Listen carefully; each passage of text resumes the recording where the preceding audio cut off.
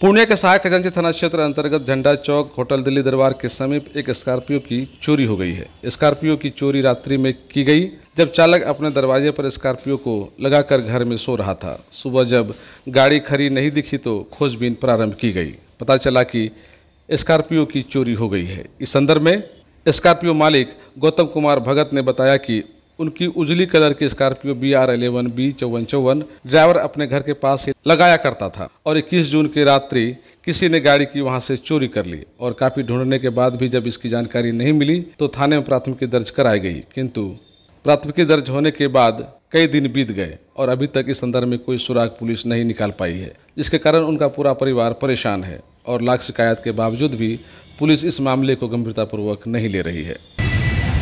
मामला हुआ कि इक्कीस तारीख को रात में मेरी स्कॉर्पियो हमको छोड़ के घर पे साढ़े नौ बजे ड्राइवर अपने घर पे चले गया।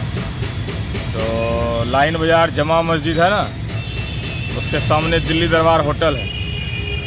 उसके बगल में गाड़ी खड़ा करके वो अपने गली में घर है, घर सोने चले गया। जब सुबह उठे ना तो फ़ोन किए उसको कि अकबर जी तो गाड़ी ले आइए वॉशिंग करवा लीजिएगा। तो बोला भैया गाड़ी नहीं है हम लोग पहुँचे तो सही मायने में वहाँ गाड़ी नहीं था। तो हम लोग सहायक खजांची में जाके आवेदन दिए और फिर गाड़ी का बोले कि तलाश कीजिए। तो पुलिस में सूचना कर दिए हैं? पुलिस को सूचना 22 तारीख को ही 12 और 1 के बीच में सूचना दे दिए। तो अभी तक कोई तलाशी के दरमियान तक सुराग मिला? किसी तरह का तलाशी पुलिस के तरफ़ से नहीं बताया गया हम लोग को। अगर अच्छा। वो कर भी रहे होंगे तो हमको नहीं बताया है। आप लोग अपने स्तर से भी ढूँढने की कोशिश हम लोग अपने स्तर से ढूंढ रहे हैं।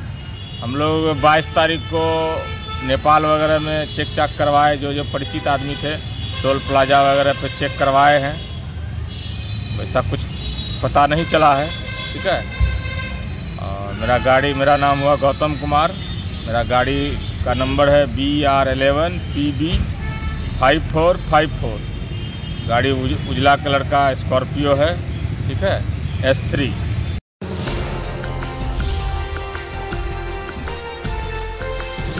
पूर्णिया के जदयू कार्यकर्ताओं की ओर से जातीय जनगणना के समर्थन में मुख्यमंत्री के प्रति आभार प्रकट करने के लिए आभार यात्रा निकाली गई।